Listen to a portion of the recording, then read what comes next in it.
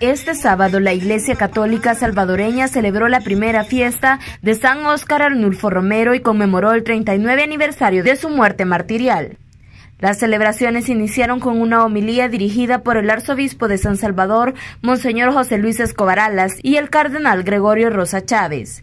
Cientos de fieles asistieron a la celebración en honor a San Romero. Además de la homilía, los fieles se reunieron en la Plaza Divino Salvador del Mundo para realizar una caminata hacia Catedral Metropolitana donde concluirán las actividades religiosas con una misa.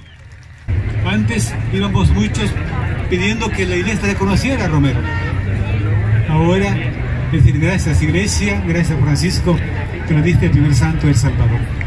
Donde habrá unos 5, 6 o 7 obispos con nosotros. Otros están fuera del país, por eso no pueden venir. Así que la historia cambió.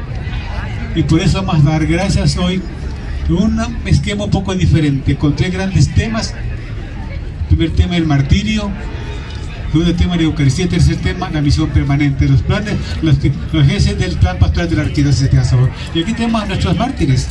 Con imágenes de Javier Orellana, este es un informe de la.